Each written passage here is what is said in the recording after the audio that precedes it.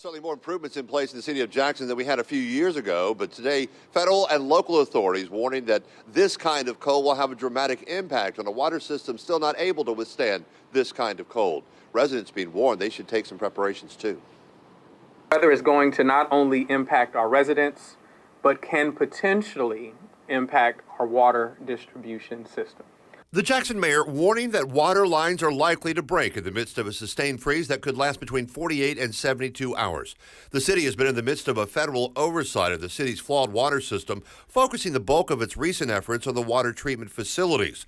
The O.B. Curtis plant received a new outdoor shell in the past year. We are in no position to promise uh, that uh, sustained Arctic temperatures cannot have a significant impact on our water treatment facility. The Department of Justice appointed third party administrator says the city has already started the cold weather preps. Got the systems in much better shape than they've probably ever been in preparation for cold weather, and we continue that work today, and we will continue it throughout the week. So I think uh, from a plant perspective, I can't guarantee that it's going to be perfect.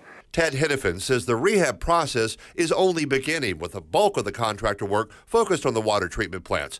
He admits there is not nearly enough done to deal with the brittle and ill prepared pipes that have historically given way in the capital city when temps plummet for extended periods of time. With 100 miles of you know, two inch galvanized pipe that's not very, very deep, that's going to be the area that we're likely to see issues.